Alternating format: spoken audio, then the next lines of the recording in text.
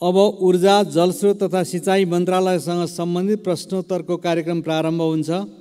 मान्य ऊर्जा जलस्रोत तथा सिँचाइ मन्त्री श्री शक्तिबहादुर बस्नेतलाई रोस्टममा आउन आग्रह गर्दछु।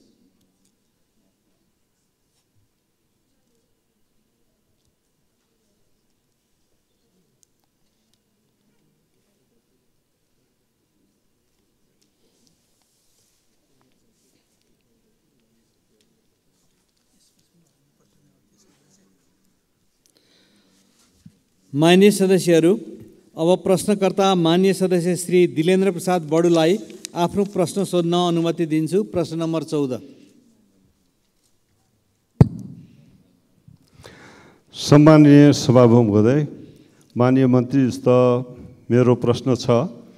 दार्चुला जिल्लाको सदरमुकाममा रहेको महाकाली नदी नियन्त्रण आयोजनाको कार्यालय योजना अनुसारको काम पुरा नहुँदै दार्चुलाबाट हटाइँदैछ भन्ने कुरा के सत्य हो? म जान्न चाहन्छु। मान्य सदस्यहरू अब मान्य ऊर्जा जलस्रोत तथा सिँचाइ मन्त्री श्री शक्तिबहादुर बस्नेतलाई उक्त प्रश्नको उत्तर दिन अनुमति दिन्छु। सम्मान्य सभामुख महोदय सर्वप्रथम मान्यजीलाई म धन्यवाद भन्न चाहन्छु जिज्ञासाको लागि। दुई हजार सत् सत्तरी सालमा आएको भीषण बाढीबाट महाकाली नदी तटीय क्षेत्रमा भएको नोक्सानी लाई सम्बोधन गर्नको लागि तत्कालीन जल उत्पन्न तथा प्रकोप नियन्त्रण कार्यालय कैलालीले एउटा विस्तृत परियोजना प्रतिवेदन तयार गरेको डिपिआर तयार गरेको रहेछ थियो। र सोही डिपिआर कार्यान्वयन गर्ने उद्देश्यका निम्ति आर्थिक वर्ष एकहत्तर बहत्तरदेखि महाकाली नदी नियन्त्रण आयोजना कार्यालय दार्चुलामा स्थापित भएको र संशोधित डिपिआर अनुरूप दुई अर्ब सतसट्ठी करोड बराबरको नदी नियन्त्रण आयोजनाको निर्माण कार्य सुरु का, कार्यक्रम सुरु भएको र हाल त्यो उन्नाइसवटा प्याकेजमा उन्नाइसवटा प्याकेजमा दुई अर्ब सतसट्ठी करोडको आयोजनाको कार्यान्वयन प्रक्रिया सुरु भएको। हालसम्म सत्रवटा प्याकेजको निर्माण कार्य सम्पन्न भएको तदनुसार दुई अर्ब बैसठी करोड रकम बराबरका सत्रवटा प्याकेजहरूको काम निर्माण कार्य सम्पन्न भएको यो भौतिक प्रगतिको हिसाबले हेर्दा नब्बे प्रतिशतभन्दा बढी हुन आउँछ। अब दुईवटा प्याकेज बाँकी छ। महाकाली नदी नियन्त्रणका बाँकी कामहरू सहित सुदूरपश्चिम प्रदेशका पहाडी जिल्लाहरू बझाङ बैतडी डडेलधुरा दार्चुला लगायतका जिल्लाहरूको सिँचाइ आयोजनाहरूको विस्तार कार्य नदी नियन्त्रण कार्य एवं प्रकारले पहिरो नियन्त्रण टार बजार संरक्षण कार्यक्रमहरू समेतलाई सम्बोधन गर्ने गरी बैतडी जिल्लाको पाटनमा एउटा सङ्घीय कार्य इकाइ त्यहाँ हुनुपर्ने आवश्यकता सरकारले महसुस गरेको छ र तदनुरूप सो कार्यालय स्थापना गरेर काम अगाडि बढाउने सोच पनि राखिराखेको छ। सँगसँगै यहाँ मान्यजीले उठाउनु भएको कुरा दार्चुला जिल्लाको अब दार्चुला जिल्लामा रहेको महाकाली नदी नियन्त्रण आयोजना कार्यालय छ। त्यो कार्यालय महाकाली नदी नियन्त्रण आयोजनाको जो बाँकी कामहरू छ त्यो बाँकी कामहरू पुरा नभएर त्यहाँबाट सारिँदैन भन्ने कुरा म यहाँ स्पष्ट गर्न चाहन्छु। धन्यवाद। प्रश्नकर्ता मान्य सदस्यले पूरक प्रश्न सोध्न चाहनुभएकोले विषय केन्द्रित भई पूरक प्रश्न सोध्न अनुमति दिन्छु। सम्माननीय सभामुख महोदय मान्य मन्त्रीलाई म धन्यवाद दिन चाहन्छु यस कारण कि महाकाली नियन्त्रण नदी नियन्त्रण कार्यालय अहिले सर्ने छैन भन्नुभएको छ। अब त्यो नदी नियन्त्रणको कार्यालय सिँचाइ तथा नदी कार्यालयमा परिणत भएको जुन निर्णय भएको छ त्यो अलि त्रुटिपूर्ण छ त्यसलाई सच्याउनु पर्दछ। र अहिले त्यो कार्यक्रम पुरा नभइकन नहट्ने लिखित निर्देशन जिल्लामा नगएको कारणले एउटा अन्यलको स्थिति छ। यो निर्णय र यो निर्देशन जाओस् भन्ने पनि म आग्रह गर्न चाहन्छु मान्य मन्त्रीजीलाई। हवस् धन्यवाद। मान्य मन्त्री। धन्यवाद। मान्यज्यू अब त्यो त्रुटिपूर्ण निर्णय हो भन्ने मन्त्रालयलाई र सरकारलाई लागिरहेको छैन। किनकि सुदूरपश्चिमका पहाडी जिल्लाहरूमा नदी नियन्त्रणका कामहरू सिँचाइ सुविधालाई विस्तार गर्ने कुरा र अ, टार सि- बजार संरक्षणका कार्यक्रमहरू पहिरो नियन्त्रण लगायतका कार्यहरू सङ्घीय सरकारको तर्फबाट सम्पादन गर्नको लागि एउटै पनि कार्यालय नभइराखेको स्थितिमा र महाकाली नदी नियन्त्रणको का कार्यालय आयोजना कार्यालय नै एक मात्र कार्यालय भएको कारणले यो थप जिम्मेवारी पनि उक्त कार्यालयलाई प्रदान गर्ने सोचाइ रहेको थियो।